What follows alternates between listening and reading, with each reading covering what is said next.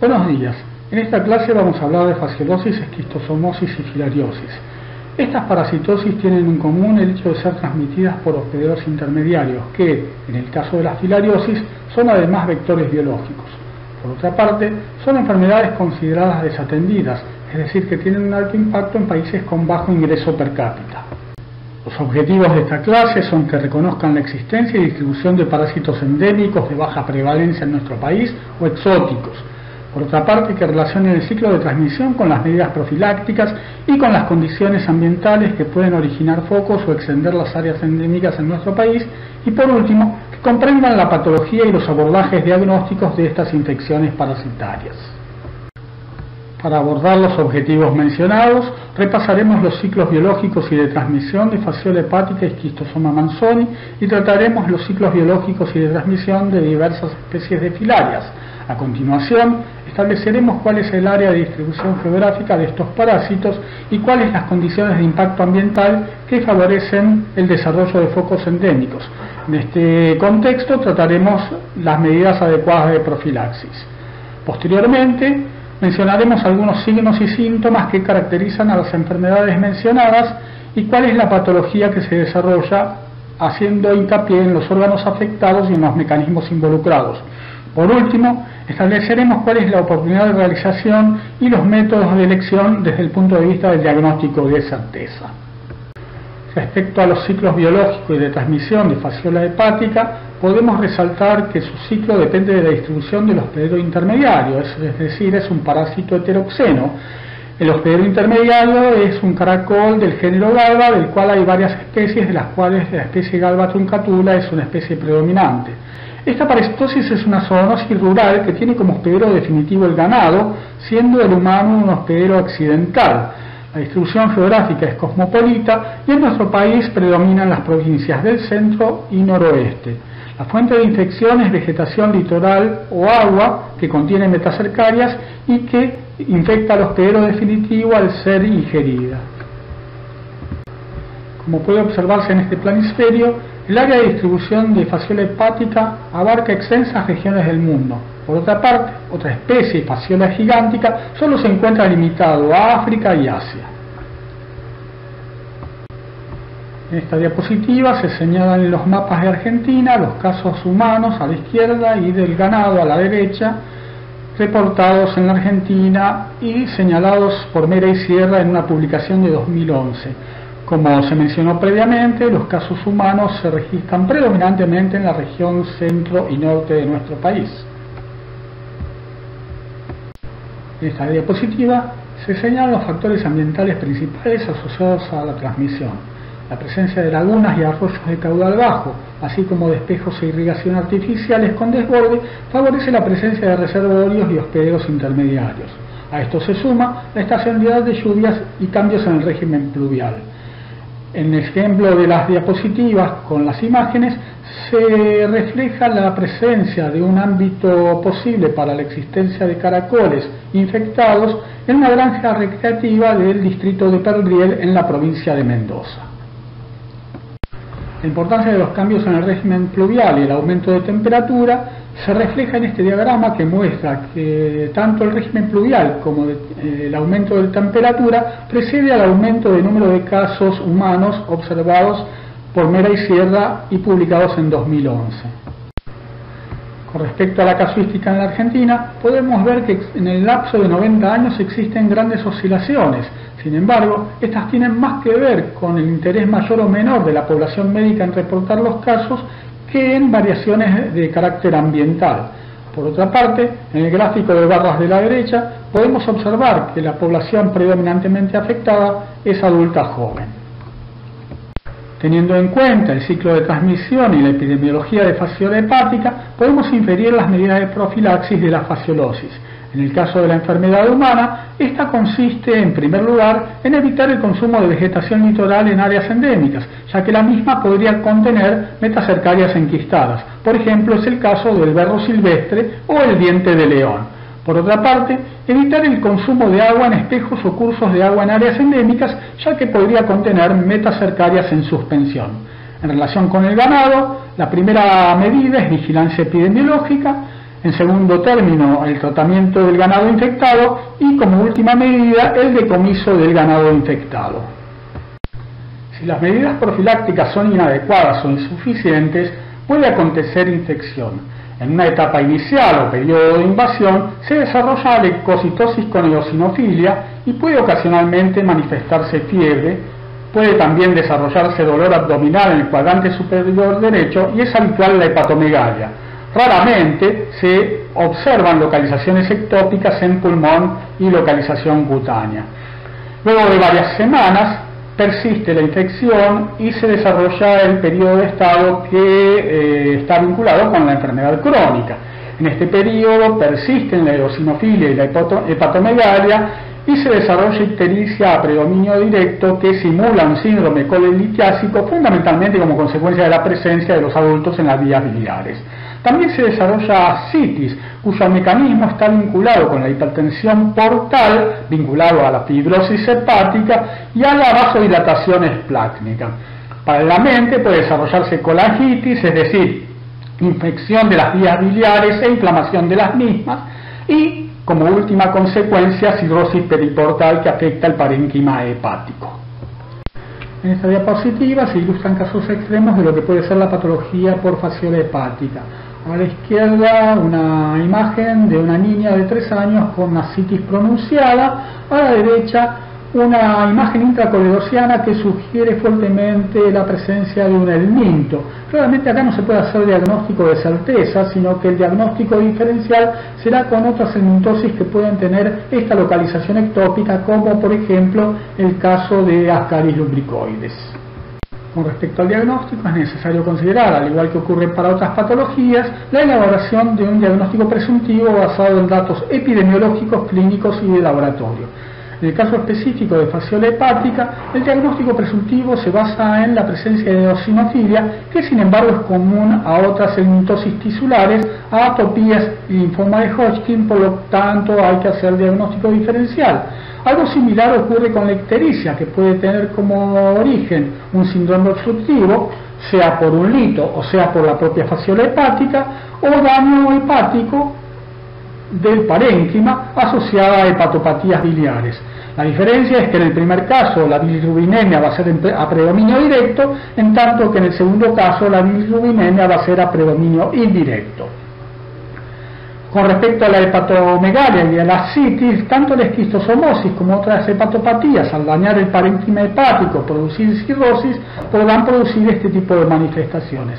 Por lo tanto, en estas condiciones, un dato relevante para poder llegar a un diagnóstico presuntivo un poco más delineado es qué tipo de eh, contacto con el medio ambiente tiene el paciente. Y en este caso el contacto es fundamentalmente a través del consumo de agua y vegetación litoral que pudiera estar contaminada con metacercarias. Es en este contexto que uno arrima o aborda el diagnóstico de certeza, que en primera instancia debe ser basado en la detección en suero de anticuerpos específicos mediante ELISA. Una prevención con respecto a esto es que la sola positividad serológica no alcanza para decir que el individuo tiene infección actual. Es la positividad serológica y la conversión serológica en conjunto lo que define que la infección es actual y aguda dado que esta técnica es positiva desde el periodo de invasión, es decir, infección temprana. Por otra parte, las pruebas coproparasitológicas seriadas, es decir, aquellas basadas en la detección del parásito en materia fecal, huevos en materia fecal, y su técnica coadyuvante, la técnica semi-cuantitativa de Catocax, de la cual vamos a hablar luego cuando hablemos de esquistosomosis, son positivas recién entre los 3 y 8 meses post-infección. Existe una técnica basada en la detección de coproantígenos, es decir, una técnica de diagnóstico directo, que es una ELISA de captura desarrollada por el Instituto de Medicina Tropical Pedro Curie de Cuba, que tiene mayor sensibilidad que la prueba de eh, examen coproparasitológico y de CatoCats eh, que mencionamos previamente, pero esta prueba no está disponible en todos los países. A continuación, repasaremos algunos aspectos de los ciclos biológicos y de transmisión de esquistosoma manzoni. Como recordarán de microbiología 1, el ciclo de transmisión depende de la distribución de hospedero intermediario, caracoles de agua dulce del género Bionfalaria. Esta parasitosis es una antroponosis rural que tiene como único hospedero definitivo al humano. Es una parasitosis cuya distribución geográfica es tropical y neotropical, en América Latina se distribuye en el Caribe, donde tiene baja prevalencia, hasta el Brasil, donde particularmente en el noreste su prevalencia es elevada. La infección ocurre a partir de cursos de agua dulce infectados con cercarias que penetran a través de vía percutánea. En esta diapositiva se ilustran la distribución geográfica y formas clínicas asociadas al género esquistosoma. Los géneros esquistosoma manzoni, esquistosoma japonicum y esquistosoma mekongi causan esquistosomosis intestinal o hepatointestinal. Esquistosoma manzoni está distribuida predominantemente en Brasil y en China esquistosoma Mekong está distribuida en la cuenca del río Mekong, en tanto que esquistosoma eh, japonicum está distribuida en Japón y algunas áreas de China. Por otra parte, esquistosoma hematorium, que causa esquistosomosis urinaria, se distribuye exclusivamente en África. Para un mayor detalle, pueden consultar la bibliografía recomendada. Esta diapositiva muestra cómo condiciones que hacen al impacto ambiental, particularmente derivadas de la acción humana, pueden generar focos endémicos nuevos o extender áreas endémicas ya preexistentes.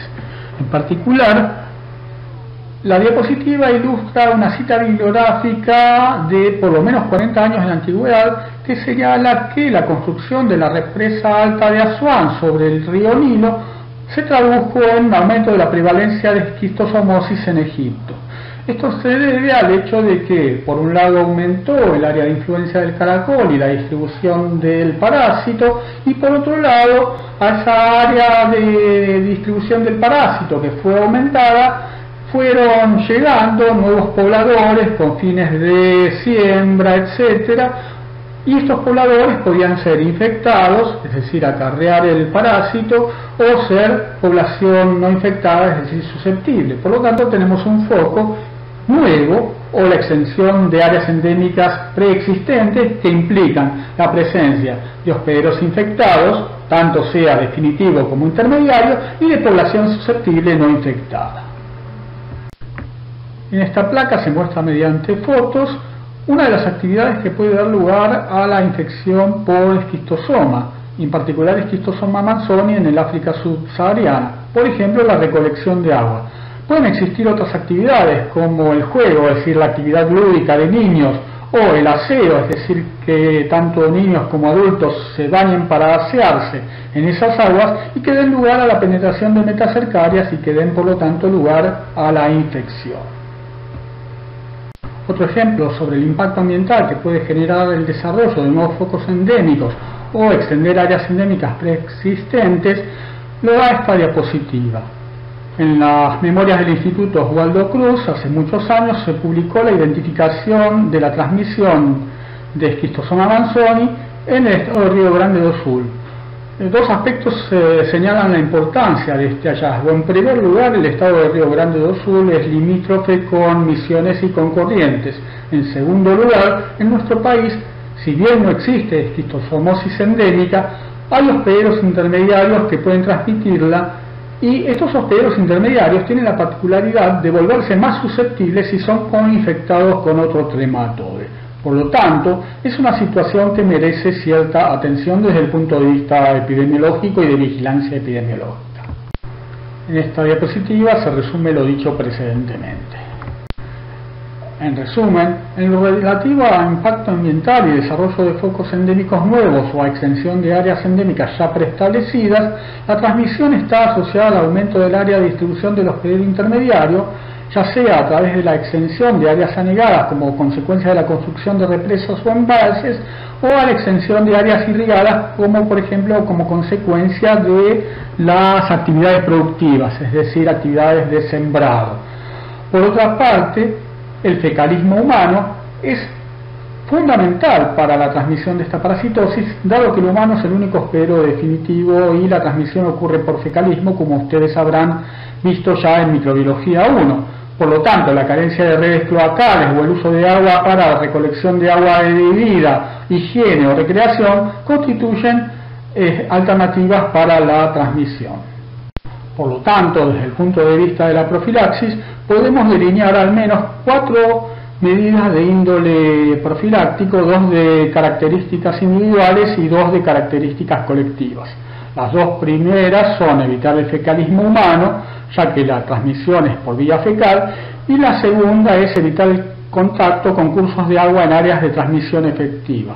Desde el punto de vista colectivo, lo relevante es la construcción de redes cloacales y el estudio del impacto ambiental ante la construcción de diques y represas para evitar la dispersión del hospedero intermediario.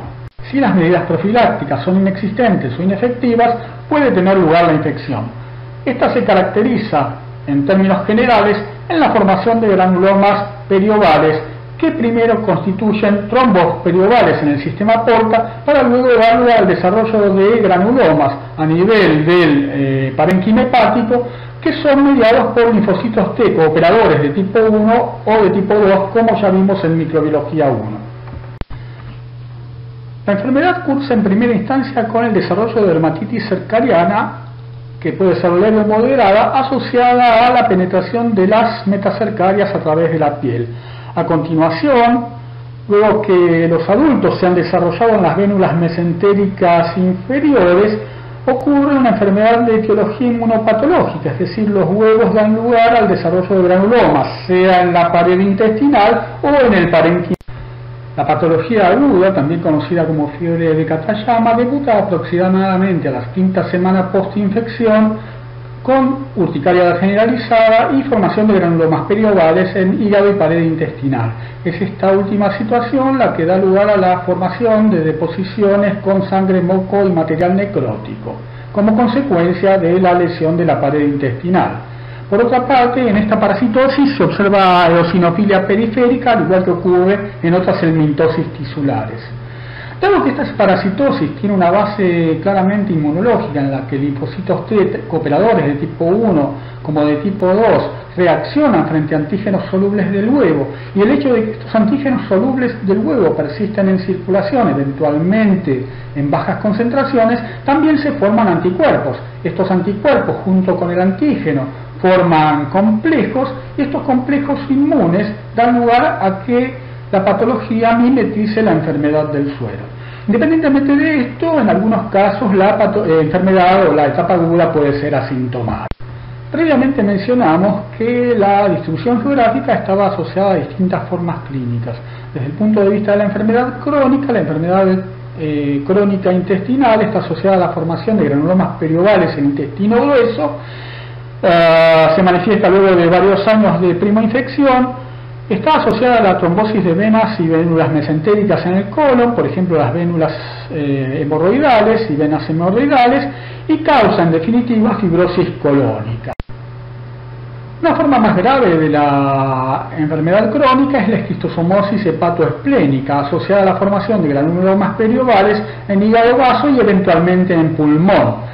Se manifiesta luego de varios años de primo-infección y se caracteriza por hepatoesplenomegalia, fibrosis periportal y hepática que eventualmente llevan a la hipertensión portal.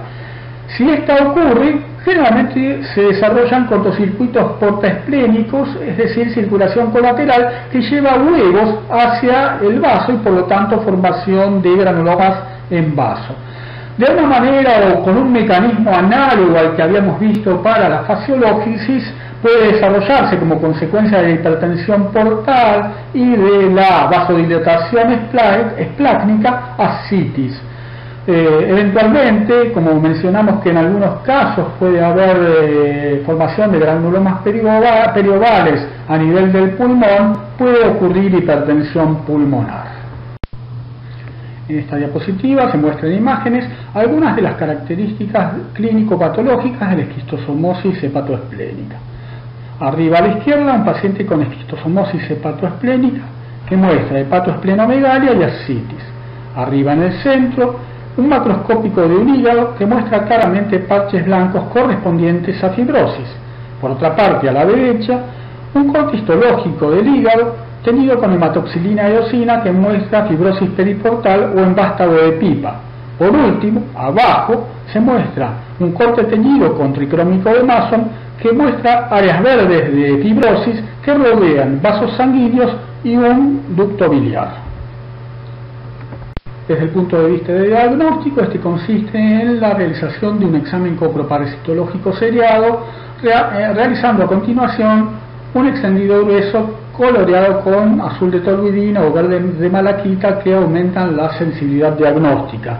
La serología en general no tiene significativa relevancia salvo con fines epidemiológicos. Esto es así porque la mayor parte de los pacientes manifiestan clínica severa en el caso de la enfermedad crónica, por lo tanto ya cuando pasó la conversión serológica. Y en ese caso es difícil discriminar entre infección pasada e infección presente.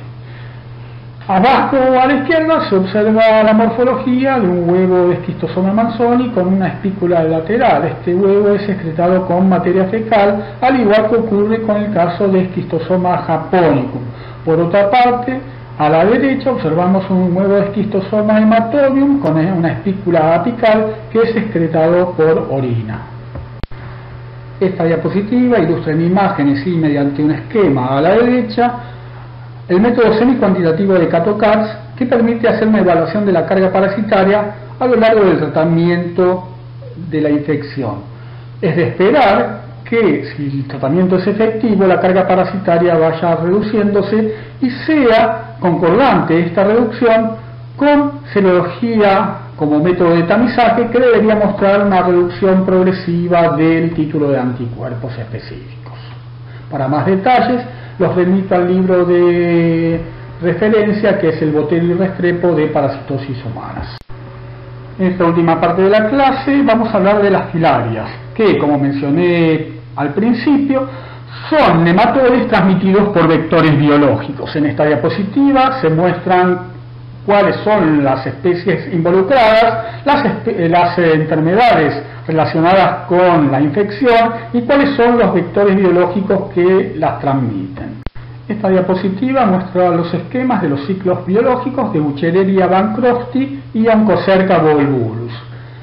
El ciclo comienza cuando el vector biológico inocula larvas de tercer estadio, que son las larvas infectantes. Estas larvas de tercer estadio, en el caso de Buchereria, llegan hasta los ganglios linfáticos y desarrollan adultos macho y hembra que, eh, que depositan en sangre periférica microfilarias estas microfilarias eventualmente serán succionadas por el insecto vector y en este insecto vector se desarrollará parte del ciclo biológico, un desarrollo de larvas 1 a larvas 3 hasta que la larva 3 vuelve a cerrar el ciclo.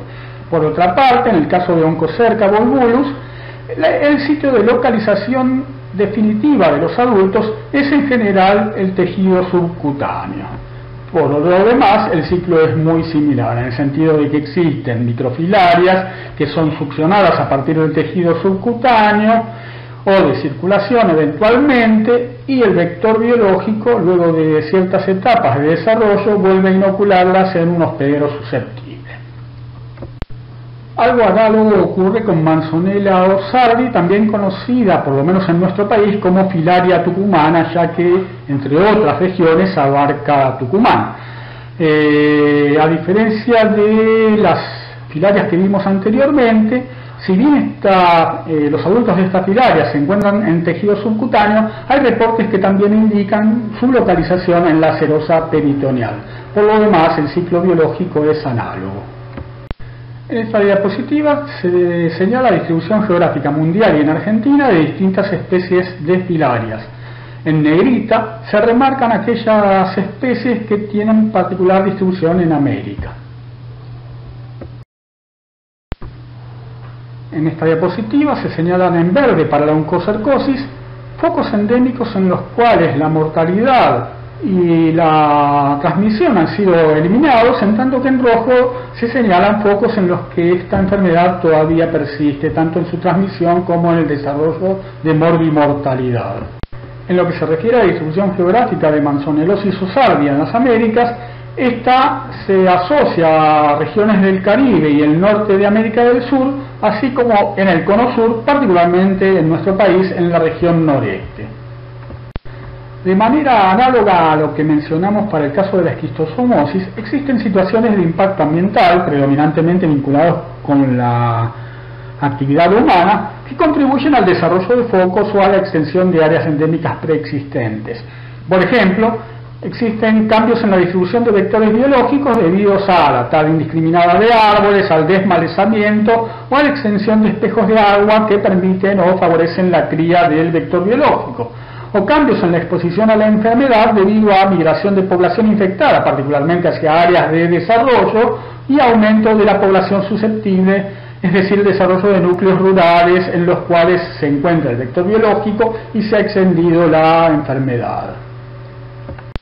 Teniendo en cuenta los mecanismos de transmisión, es decir, la intervención de vectores biológicos, uno puede delinear una serie de medidas profilácticas para evitar la infección humana.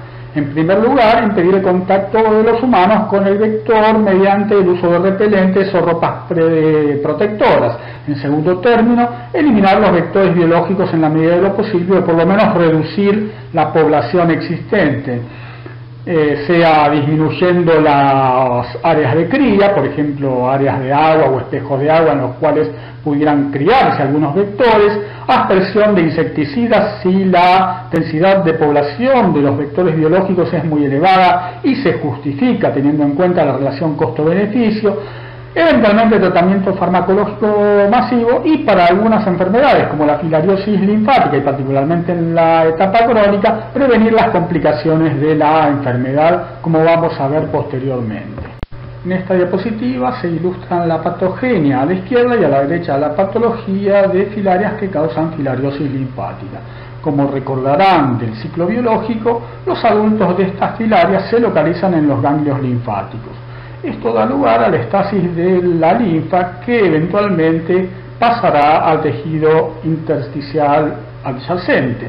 Por otra parte, es necesario señalar que los adultos de las filarias tienen en su tubo digestivo bacterias endosimbiontes del género Wolbachia.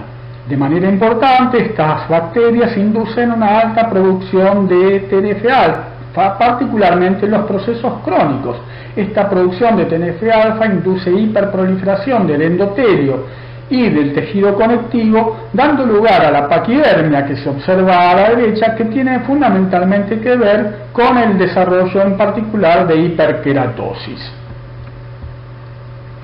Por lo tanto, en el marco de la infección por filarias que causan filariosis linfática, es necesario establecer la prevención de complicaciones. Estas están vinculadas fundamentalmente con el desarrollo de pliegues que pueden permitir la proliferación tanto bacteriana como micótica.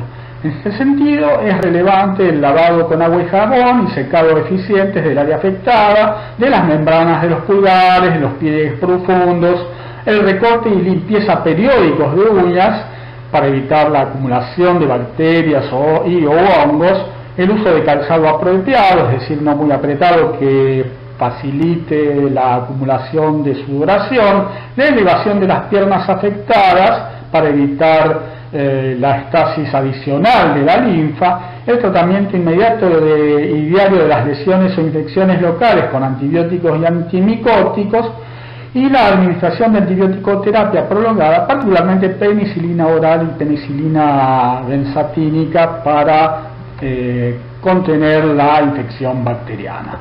Por otra parte, en el caso de Manzonella o Sardi, como mencioné previamente, se localiza no solo en el tejido subcutáneo, sino también eventualmente en las serosas peritoneales.